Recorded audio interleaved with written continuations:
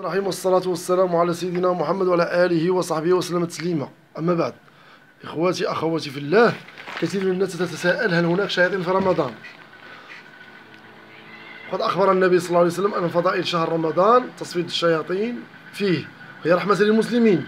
لذلك سبب في العافية من شرورهم ووساوسهم لقول عليه الصلاة والسلام فإذ جاء رمضان فتحت أبواب الجنة وغلقت أبواب النار وصفدت الشياطين.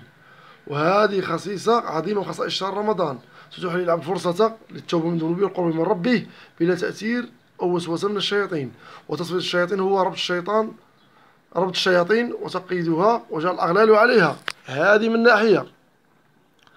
أما من ناحية الشياطين أن هل هناك شر مطلق للشياطين على بني آدم؟ نعم موجود.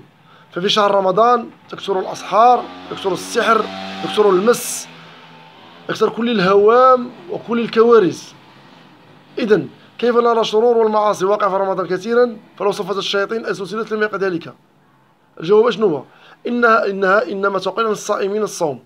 إذا حفظت شروطه وروعت أدابه أي المصفد الشياطين هم المردة ماشي كلهم تيتصفدوا كما جاء بعض الروايات والمقصود تقليل الشرور من تقليل شرورهم.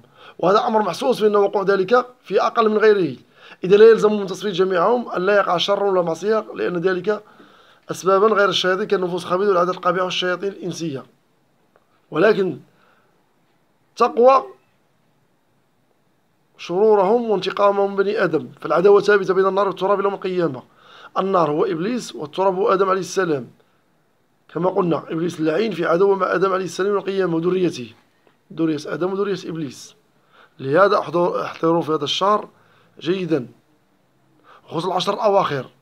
فإن السحر يكون إجابته مئة في المئة من طرف السحرة وأعمالهم تنجح مئة في المئة. إذا كل إنسان محصن بذكر أو بصلاة أو بصلاة الفجر أو بقراءة أوراد يومية.